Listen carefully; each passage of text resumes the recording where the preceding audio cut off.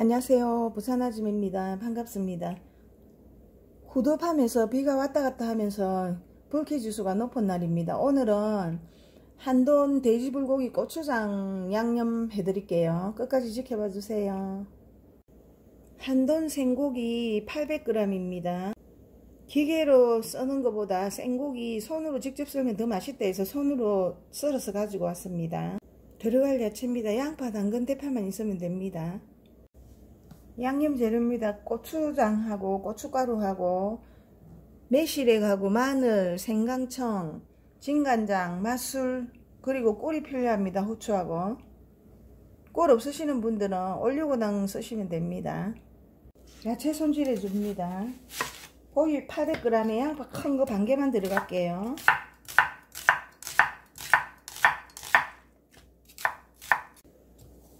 작은 당근 작은 당근도 반 개만 사용할게요. 반달 쓰게 해주세요.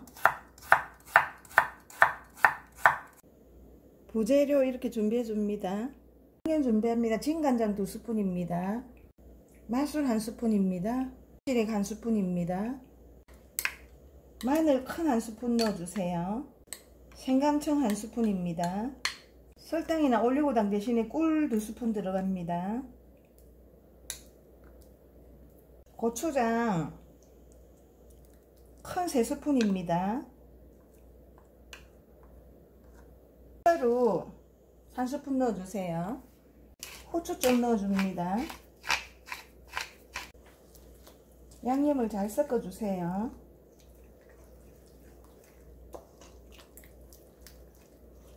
음 맛있겠어요.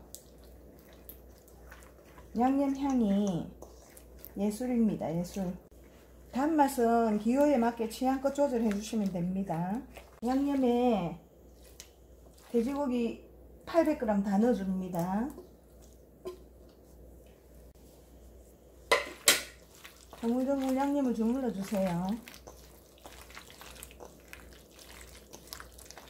음 맛있겠어요. 여기 야채 준비한 거 다 넣어줍니다. 그리고 같이 버물러 주세요.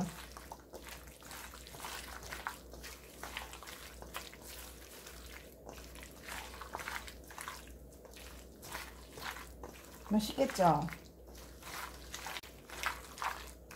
자, 부산아지 매표 돼지 고추장 불고기 양념이었습니다. 맛있게 만들어 드시고 건강하세요. 다음 영상 찾아뵙겠습니다. 감사합니다.